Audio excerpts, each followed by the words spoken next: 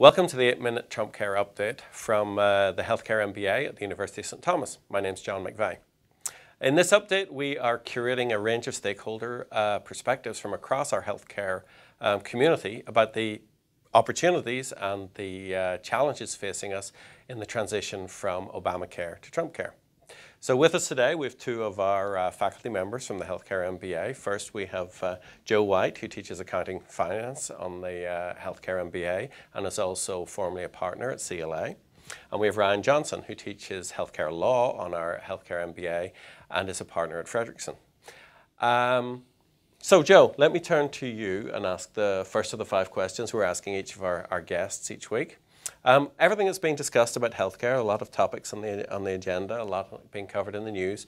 What of all of those issues gives you the most hope uh, for healthcare reform this week? Well, I, I think that there is hope there. Um, and, and I see it in the Paul Ryan uh, proposals related to the healthcare changes. Mm-hmm. And, and so when they do the replace and repeal, I think there's some good things in there. Mm-hmm. Um, more patient responsibility for mm-hmm. healthcare is going to change things a lot, right? I mean, all of a sudden pricing is going to affect things and, mm-hmm. and should have an impact of driving down prices. Mm-hmm. So the competitive nature of the marketplace, mm-hmm. more patient responsibility is good things. Ryan, what gives you hope this week? Um, you know, I agree with that. Uh, there were these leaked tapes for the Republican meeting, and there was serious talk about the Affordable Care Act.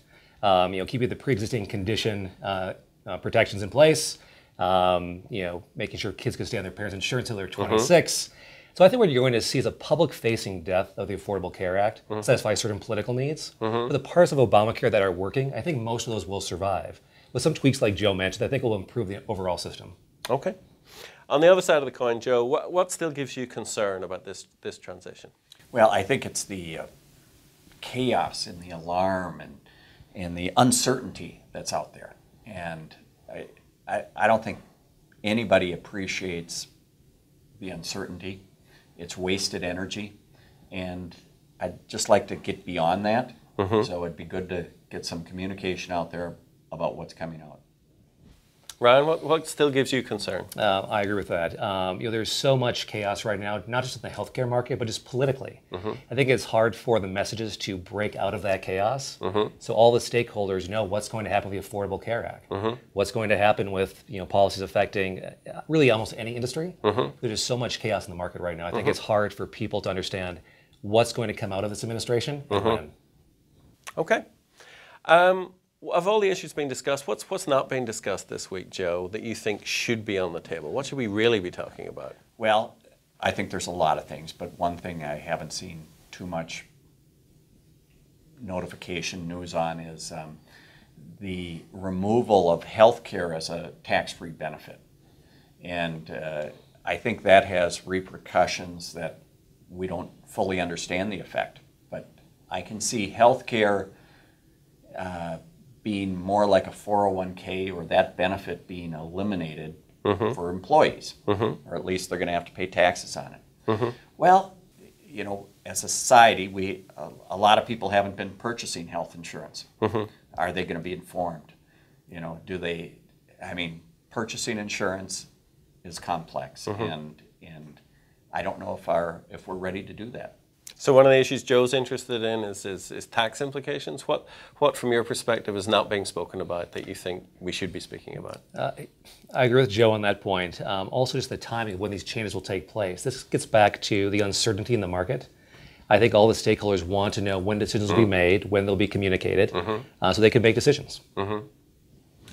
Okay. Um, let's switch perspectives a little bit. What about uh, perspectives from an executive position, be you an executive within the healthcare um, industry or an executive in the corporate world? What should be top of your agenda as an executive? What should you be thinking about this week with regard to uh, healthcare? One item would be um, not to get lost in the excitement, right?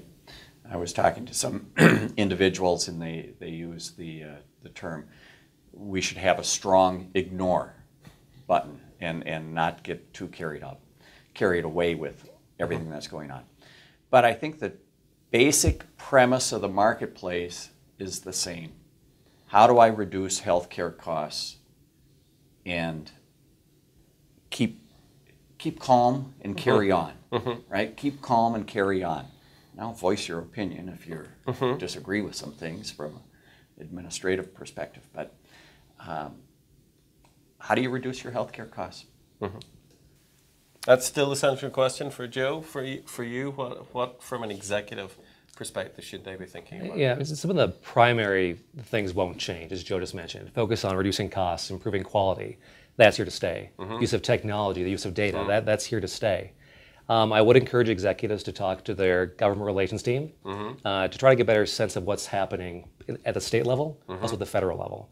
Um, lots of conversation to help develop a strategy, but stay calm, stay the course, and focus on the fundamentals. Quality, reduce costs, use data, invest in technology. Um, last question we like to, to, to ask our guest is step back a little bit to, uh, to the long term. What's, what's your big idea, your big idea um, that particularly interests you in, in that could really transform healthcare or make a big change to healthcare?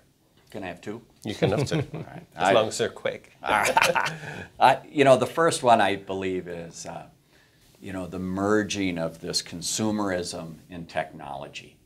You know, I, I think we're moving towards an, where the coming together of those two things has me pretty excited.